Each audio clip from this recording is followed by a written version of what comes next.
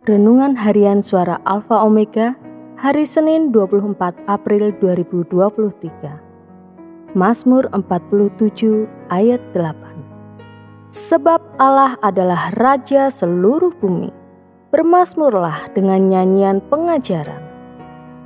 Kita sering menjadikan Tuhan sebagai Raja atas hidup kita. Namun seberapa sering kita menghormati dia sebagai penguasa hidup kita yang berdaulat penuh?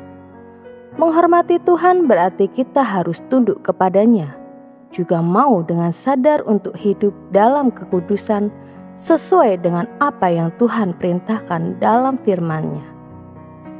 Jika kita menjadikan Tuhan sebagai Raja yang memimpin hidup kita, maka kita juga harus siap untuk mengikuti segala hal yang Tuhan inginkan dalam hidup kita. Ke mana pun Tuhan akan membawa kita, Percayalah, Dia membawa kita kepada kemenangan. Abraham menjadi tolok ukur ketaatan penuh kepada Tuhan. Di saat dia sudah memiliki segalanya, bahkan bisa dibilang orang tersukses di zamannya.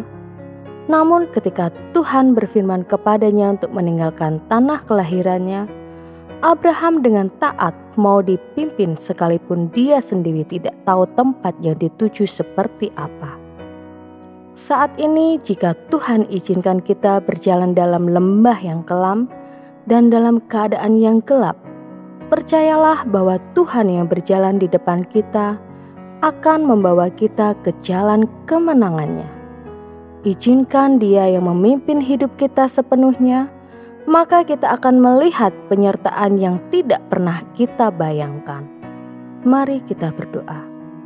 Tuhan, kami mau menjadikan Engkau sebagai Raja dalam hidup kami. Biarlah kami mau hidup dalam pimpinan dan penyertaan-Mu setiap hari. Dalam nama Tuhan Yesus kami berdoa. Amin.